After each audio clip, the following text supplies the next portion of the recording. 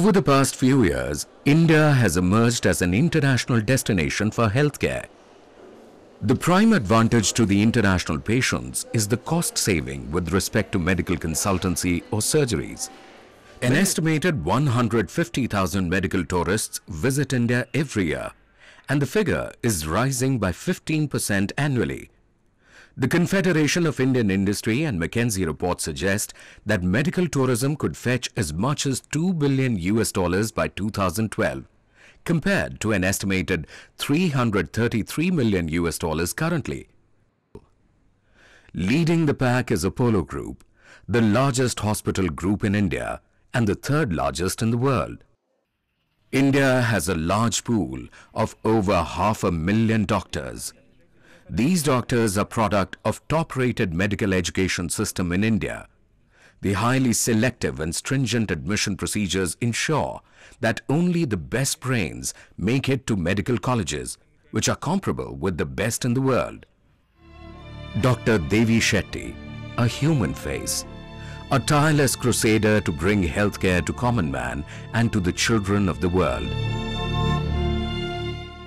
Upon his arrival from the UK, Dr. Shetty set up Asia Heart Foundation, a non-profit organization in Kolkata.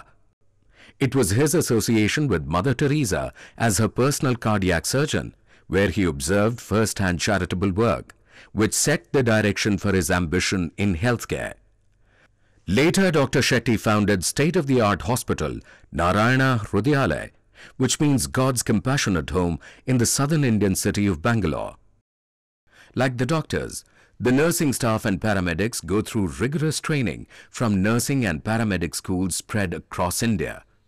These well-trained paramedics and nursing staff are recognized internationally for their skill, fluency in English language, and of course, care. Indian hospitals invoked technology to bring healthcare through telemedicine to people across the globe. Telemedicine is the delivery of medicine at a distance and refers to the use of communications and information technology for delivery of clinical care to the patients. as far as the application of robotic surgery is concerned, which is the latest development in surgical field, we, we have been able to apply it almost everything which is available in the West. So, it's urological operations, cardiac operations, chest surgical operations, all these which can be done anywhere in the western world are available at a much cheaper rate and with equal if not more success in our country.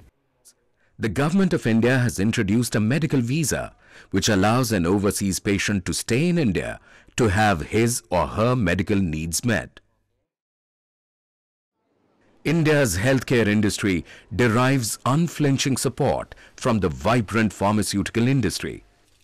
Indian pharma industry is estimated to be worth 6 billion US dollars and is among the top 3 generic producers and top 3 API producers globally.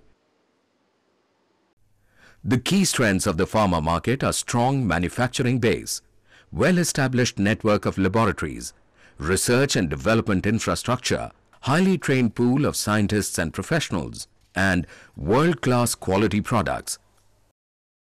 As healthcare will remain one of the most indispensable sectors of a person's life, India will continue to remain in the forefront in offering healthcare to the world population.